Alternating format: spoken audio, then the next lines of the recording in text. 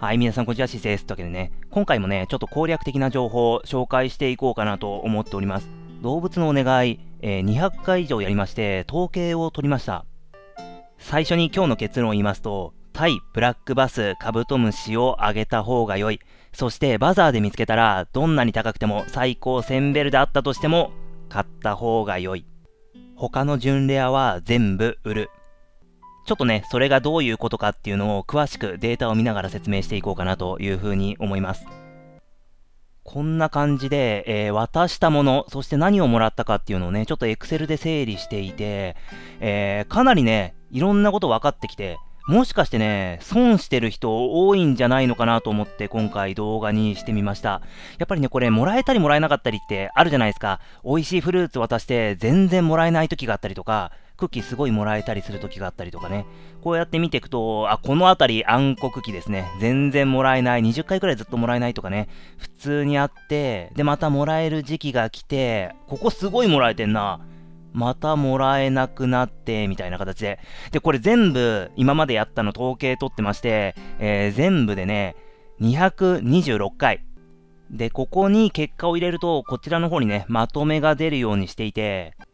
いやー、スマホの人見えますかねこれ。あのね、じゃあちょっと言葉でもね、えー、補足していく形でいこうかなと思いますが、えー、渡したものともらえるもの、その確率まとめてまして、前回もね、少し紹介しましたが、四天王、マグロ、ナポレオンフィッシュ、錦鯉、ゴライアス、これはね、必ずクッキーがもらえる、えー、テーブルになってますね。で、その下、その下がね、これいろいろやりましたが、おそらくね、えー、もらえるお金も全部1000、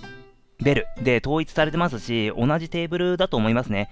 1個ミイロ縦波とか、えー、57%もらえててすごいいいんですよ。なんでね、一見この3000ベルの売値のところが確率35%で他より高く見えるんですけども、まあ、試行回数高いですし、同じく、えー、下の方でね、売値1500ベルのニジマスも55%とか出てますんで、えー、これ、青色で囲ってあるところはおそらく全部まとめて同じテーブルだと思います。で、ここを全部まとめるとね、21%。で、細かく見ていくと、まあ、35とか25とか、えー、こういう確率になってると。で、ここで注目してほしいのは、えー、タイブラックバスカブトムシと、えー、チョウチンアンコモルフォチョウミイロタテがこの辺ね、えー、クッキーもらえる確率同じなんですよ。っていうか、ベルももらえる確率同じだし、全く同じものもらえるわけですね。この辺りの売値3000から1500、これ上げるの超無駄です。これ上げない方がいい。美味しいフルーツは以前の動画で必ずゲットできる方法を紹介してますんで、これは必ず、えー、上げられると思います、えー、足りなくなるってことは絶対ないですね。で、えー、タイブラックバスカブトムシを上げるっていうのが今回の結論。タイブラックバスカブトムシってバザーの一番高い価格でも1個1000ベルなんですよ。これね、迷わず買った方がいい。っていうのは、だってさ、この上のやつ、売ったら3000とか、安くても1500なんですよ。これを全部売って、売ったお金で、バザーのタイブラックバスカブトムシを買ったら、同じ確率でクッキーがもらえるのに、お釣りが来るっていう。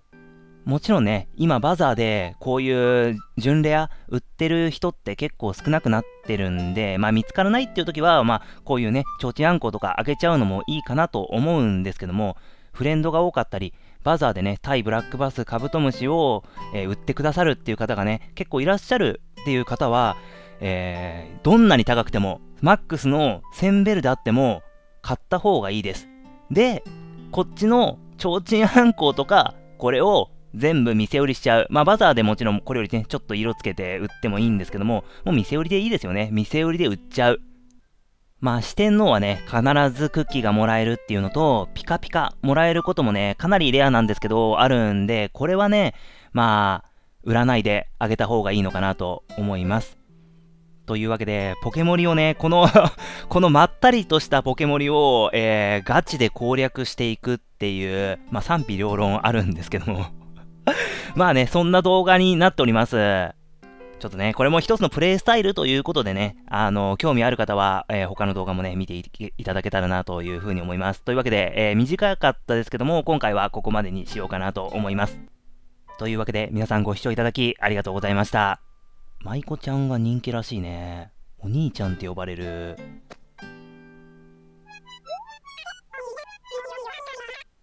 あんまり